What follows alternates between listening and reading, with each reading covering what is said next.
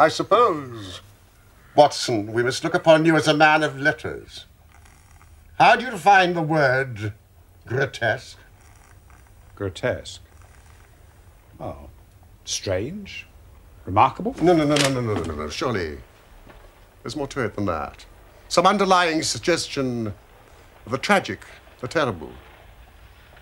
If you cast your mind back to those narratives with which you've inflicted a long suffering public, you will see how often the word grotesque has deepened into the criminal. I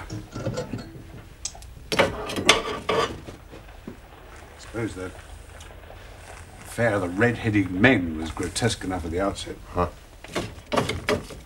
Ah! Oh, that most grotesque affair. The five orange pips. Yes, which led straight to a murderous conspiracy. Another word puts me on the alert. Oh, how did you do? Hmm. I've just had the most incredible and grotesque experience. May I consult you, Scott Eccles?